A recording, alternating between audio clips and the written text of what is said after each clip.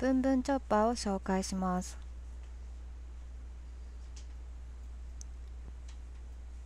野菜を入れて引っ張るだけでわずか8秒でみじん切りができます。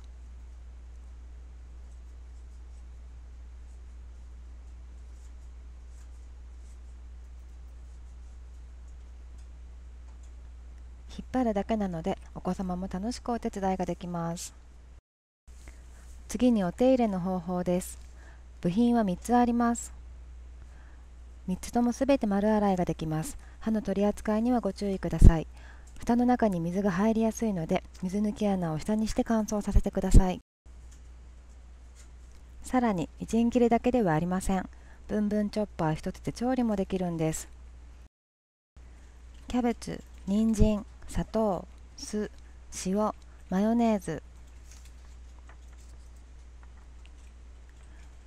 材料をすべて入れてブンブンするだけでわずかな時間でコールスローの完成です。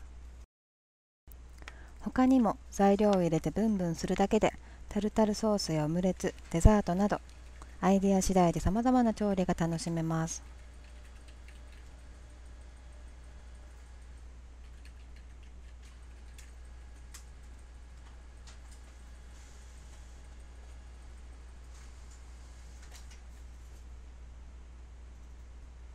以上、ブンブンチョッパーの紹介でした。